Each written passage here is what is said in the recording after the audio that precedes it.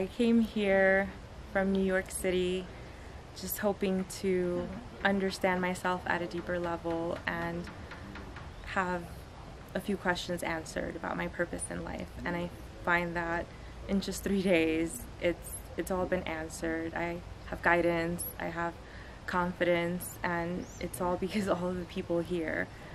I'm so I'm so glad I came here. Like everyone's incredible. Renato, his team, Tom, Sabina, the chefs, Anna Maria, everyone is incredible and I mean if you're thinking of coming just do it because it's it's the right place and the right people. It's it's heaven here.